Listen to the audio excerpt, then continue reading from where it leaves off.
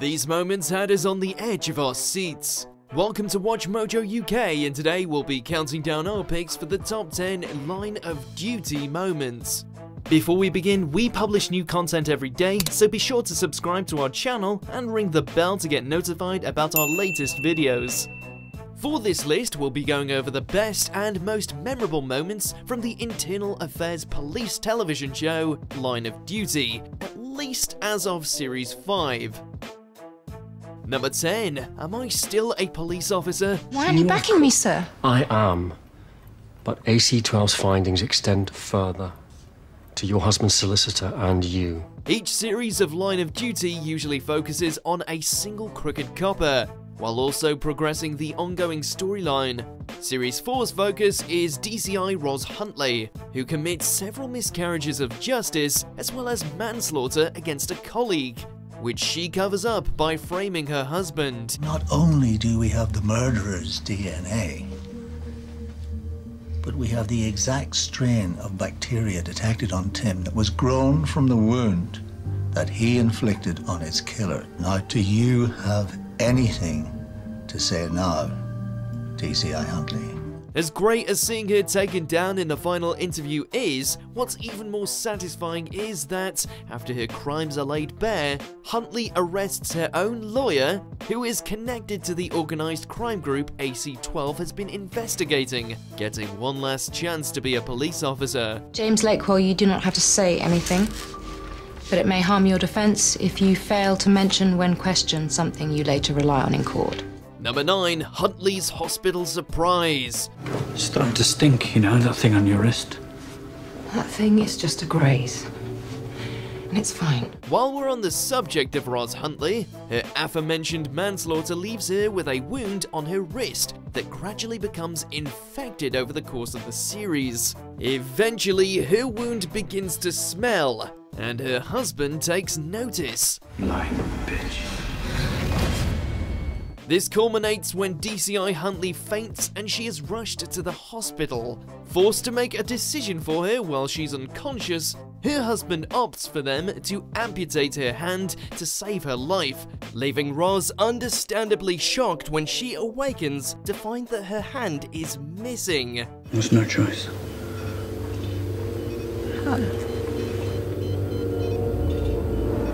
Quite the cost for her misdeeds.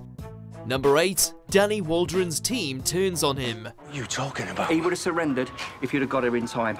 That's my report unless a lot of you man up right now. While pursuing suspect Ronan Murphy, Sergeant Danny Waldron shoots the man in cold blood after he surrenders, eventually bullying the rest of his response team into helping him cover it up. The suspect turned his weapon on us and opened fire. I returned fire. The suspect fell to the ground. He then proves unflappable in AC-12's interview room and follows it up with another murder. The stage is set for Sergeant Waldron to be the focus of Series 3, and he is, just not in the way the audience expects. We're going up. Call it in, Channel 1.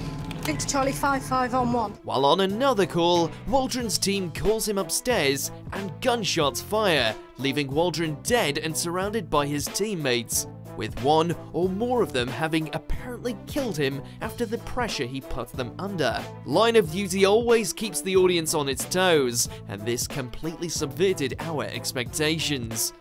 Number 7. John Corbett exposed. Like it or not, this is what we do. Do you? Do I what? Like it?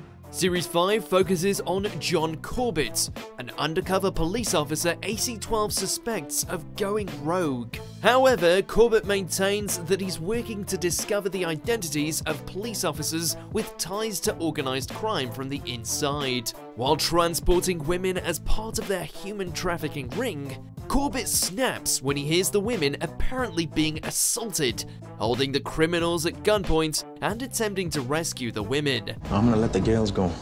What you talking about? Then the girls? They're livestock. We're here to make a trade.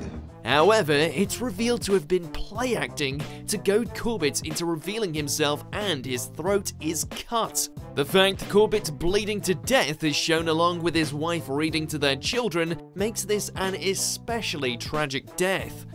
Number 6. Steve goes down the stairs. Mr. Huntley unable to confirm wife's whereabouts on the 17th slash 18th. No, I didn't say that. Mr. Huntley denies the above. While trying to establish Roz Huntley's whereabouts at the time of her colleague's suspicious death, Steve Arnott begins looking at her husband Nick.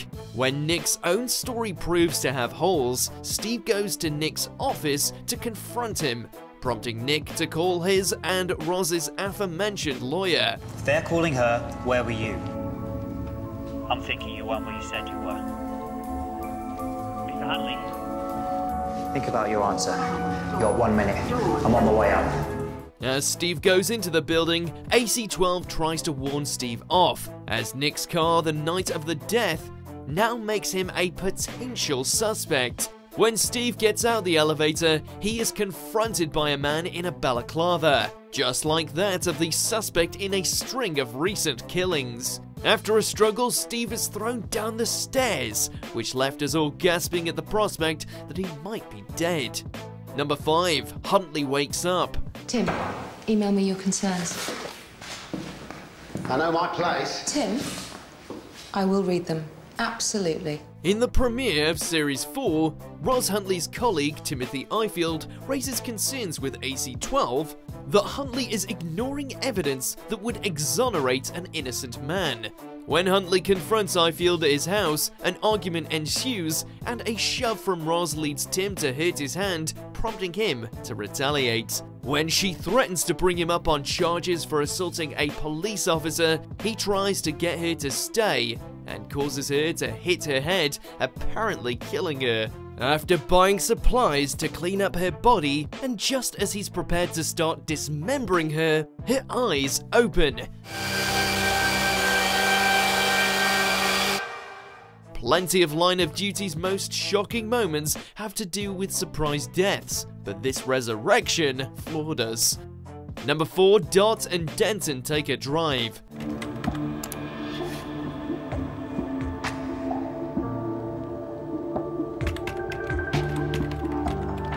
Disgraced former DI Lindsay Denton may have taken a bribe and been an accessory to murder, but she still wants to catch the people who caused her fall from grace.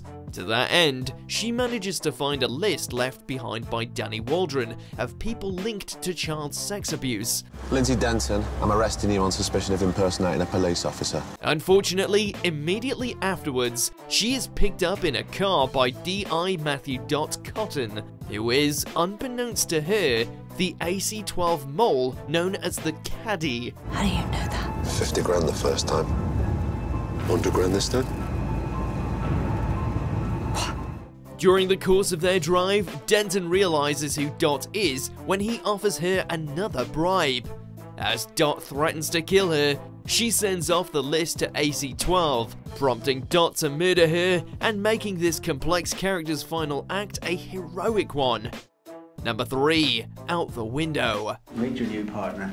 Actually, sir, it's Georgia. After a conflict of interest forces Kate Fleming to recuse herself from the investigation into Denton, Georgia Trotman is brought on as Steve's new partner. The two of them hit it off, and their relationship turns physical after a night of drinking, making a nice contrast with the friendship dynamic between Kate and Steve. Where's the guards? When Georgia and Steve are called to a hospital to protect a witness, the two of them are ambushed. Steve is knocked out, and Georgia is overpowered and thrown from the window, bringing a shocking and abrupt end to a promising new character. Number 2 Late Night Callers. No one else would believe me. Only you. DCI Tony Gates is the subject of Series 1's investigation. Not only is the decorated officer padding his arrest numbers, but his mistress Jackie Laverty has managed to involve him in covering up a murder.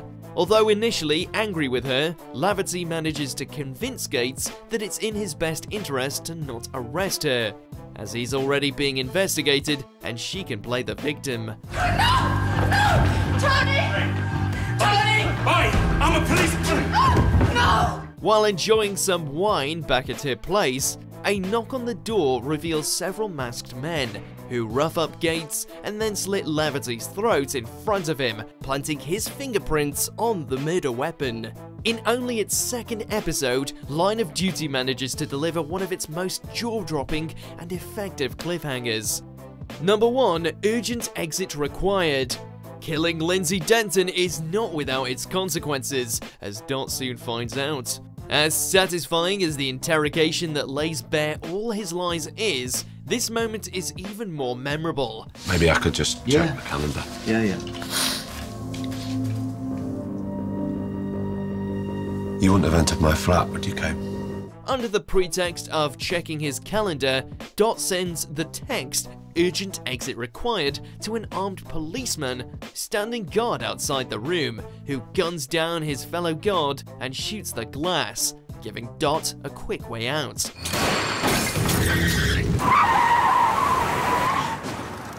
The ensuing chase is harrowing as well, and the fact it sees the end to the treacherous caddy helps make it the best line of duty moment so far. You agree with our picks? Check out this other recent clip from Watch Mojo UK and be sure to subscribe and ring the bell to be notified about our latest videos.